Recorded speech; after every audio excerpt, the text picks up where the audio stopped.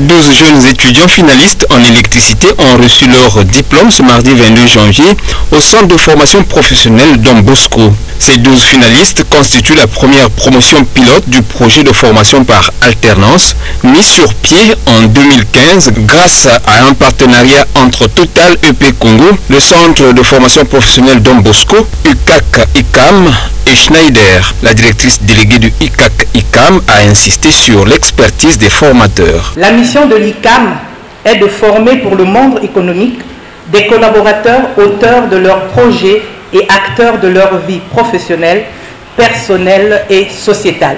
Il faut des accompagnateurs compétents. C'est ce que l'ICAM a mis en œuvre via les nombreux séjours de Kamal et la formation des formateurs de Don Bosco par l'immersion de ces premiers sur nos sites de Nantes et de Lille.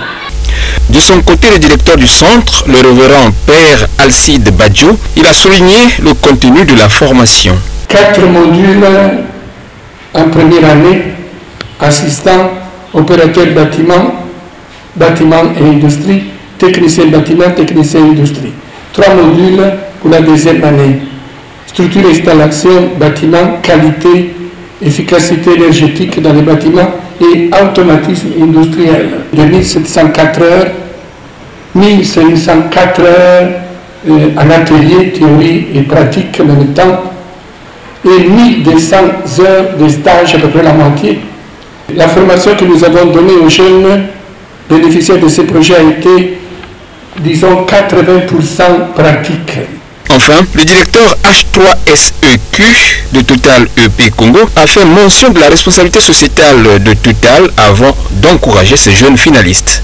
Le diplôme, c'est le début du, travail que vous allez faire. C'est ce que disait euh, Madame la directrice déléguée de l'ICAM tout à l'heure.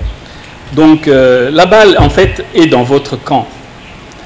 Donc c'est à vous maintenant de montrer de quoi vous êtes capable.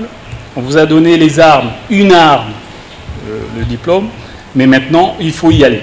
Il faut y aller pour chercher cet emploi, pour l'inventer, pour le créer. La visite guidée de la salle de formation en électricité du centre de formation professionnelle Don Bosco a clos cette cérémonie.